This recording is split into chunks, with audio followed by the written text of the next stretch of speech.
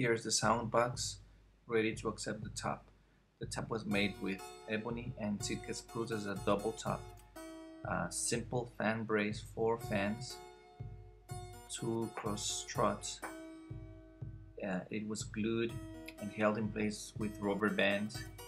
After it dried, we routed some channels to accept the binding and the purfling, uh, which have the function of uh, protecting the edges, limiting the moisture exchange, and also provide a, a nice look to the instrument.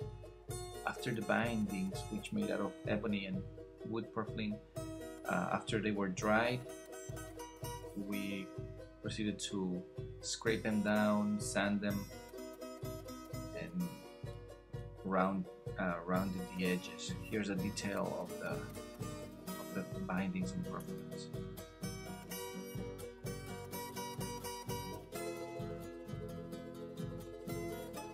You can see the tight um, fibers of the Sitka spruce.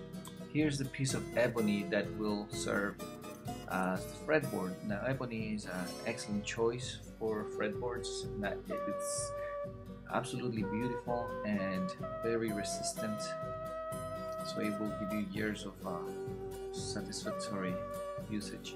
Here's a design that would be carved onto the, the head headstock. Here's a piece of cocobolo being glued to the headstock. We're drilling the holes to receive the tuners, uh, cutting out the channels and finish, uh, finishing the headstock. Here is the headstock already carved, finished, or semi-finished I should say, because there will be minor adjustments later.